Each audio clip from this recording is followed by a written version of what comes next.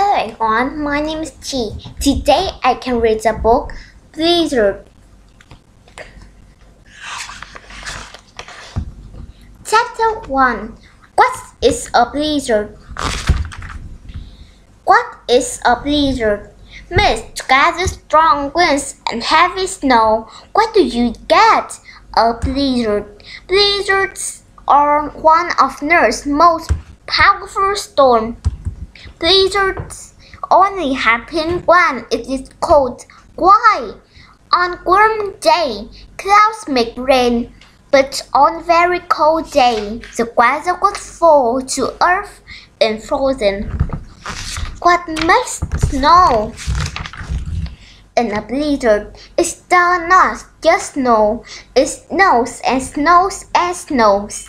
A little snow is fun but a lot of snow can be dangerous. Billions of snowflakes fall during in a blizzard. All of them have six sides, but give squad. Each snowflake is a little different. Chapter 2 When a blizzard hits.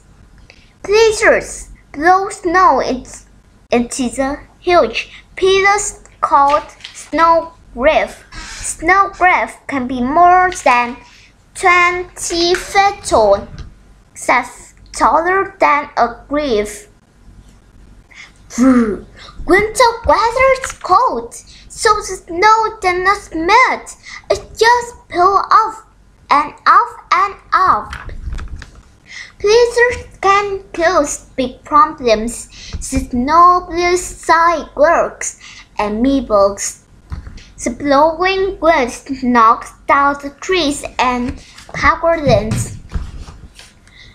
The falling snow can also make it very hard to see. This is called wind out because everywhere you look there is quite, quite, quite. Chapter 3 Staying Safe When the weather report says that the blizzard is coming, people have to get ready. They sit their windows tightly. They make sure the pets are safely inside. People also make sure they have lots of food. Quiet they may be stored inside for a long time.